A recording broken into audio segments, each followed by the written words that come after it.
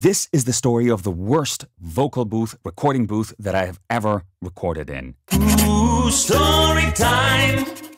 Hey, hey everyone, this is Aris, and welcome uh, to the channel.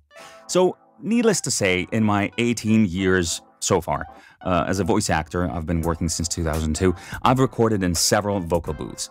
The worst one that I have recorded in by far is the one in this story.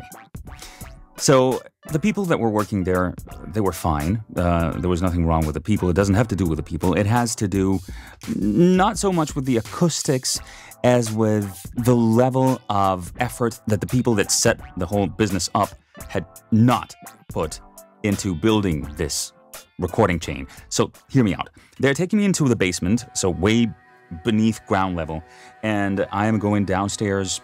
Uh, there's a long corridor um, dark rooms left and right, so probably a storage area of sorts. And um, I keep walking in the corridor with them, and they uh, are telling me this is the uh, where where, the, where we mix the sound. And I see a large room, like a very long room, with machinery on both ends that I do not understand. It wasn't a computer, and this was fairly recently, so it's not like it was in the 1980s or anything where you know we were recording in tapes and reels and whatever. It was like a proper nowadays studio. and uh, uh, so I try to go into the room and say, no, no, no, no, the recording booth is not over here. This is where we mix. Like, okay, um, where's the entrance to the recording booth? Say, you're going to go that way, and they're taking me to another area. And this is clearly a very large storage room. And they, uh, they're telling me, you're going to go in there into that door. You see that door? And I'm like, okay. So I walk past furniture and past old machinery that's dusty and not used anymore, and it's really dark. And I go into this tiny door. I close it behind me. It's a like a very thin wooden door, and I am in a tiny storage area that looks like a wardrobe. I mean, the size of a walk-in closet, and even more claustrophobic. Claustrophobic, and um, I am, um, I am in there, and there are ducts going on um, up above me um, uh, probably from uh, water lines. I don't know. And there is a microphone, which is a dynamic microphone. So basically, I see this microphone right on a stand. And, you know, immediately when you're a voice actor and you see something like this, you go like, huh? That's rare. Um, because usually you get you, you use that live on stage if you're a singer. And when you're a voice actor, you use something like this or, you know, something like this, which is big and proper, and uh, the capsule is big and the, the diaphragm is large. I mean, and it's uh, it gives you a proper sound, or something like this, which is you know more intimate uh, or uh, not more intimate, but more direct, I should say. This is more direct, and you use this in uh, films as well, but you also use it in areas where the acoustic treatment is not so good. So I see something like this, which is great for places that are not acoustically treated very well, but it's also very low gain. So this, in order to, to pick up your voice, like in its fullest, you have to be really close to it, and then they have to like crank up the gain knob a lot in the preamps. So I see this and I, I and I'm like I need to be close to this and I don't know how many people have been close to this before me. I don't know, you know. This was pre-coronavirus, but still I didn't want you know to breathe in whatever germs anyone else has on the microphone uh, has left on the microphone. So there is a pop filter which, you know, for those that do not know, this is what a pop filter is like. There was a pop filter in front of the microphone, but it wasn't like a proper pop filter because this is a proper pop filter. This is by Shure. This is the Popper Stopper. These take out of the equation all the and the and the that you may do on the on the microphone uh, when you perform.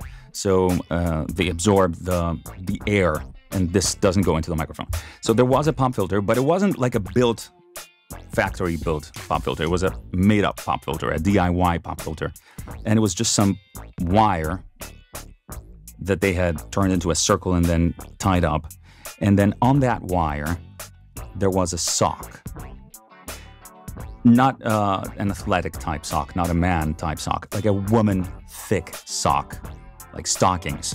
And they didn't even have the decency or the conscience to cut the excess off. So um, it was hanging there, and the place, the, the sticky part that goes on the leg of the woman and it sticks there, that was hanging at the bottom underneath the pop filter.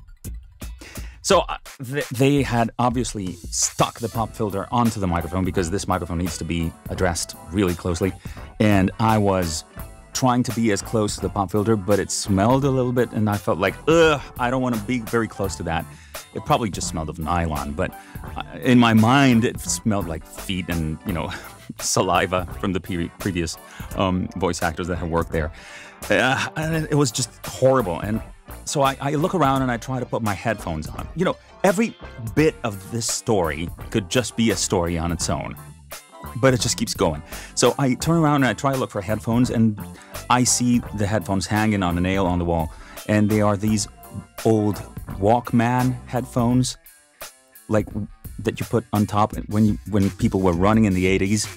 That kind of headphones proper Walkman headphones. I put these on and I'm trying to listen to the sound engineer on the headphones and I'm trying to listen to my voice. We're doing a sound check and I'm addressing the microphone as closely as I possibly can. So, so like kind of like this. And I'm trying to be as professional as possible. And it was, um, can't even say what kind of commercial it was. So I'm, I'm, I'm going at it and I, I, I'm doing a take and I'm being as loud as possible and as close as possible and I'm getting feedback. And the sound engineer says, Aris, can you please be closer to the microphone? Unbelievable. I tried to go as close as I can without my lips touching too much. My mustache is starting to, to touch the, my hair on the mustache is starting to touch the pop filter, and I feel totally disgusted. I do a few takes, and I, I just, they're telling me, okay, get out of the room and you know it's fine. And you know here's another part that the story could end in. And it would be fine. It would be a great story on its own. But it keeps going. So i'm going out to, into the mixing room and the sound engineer is over there.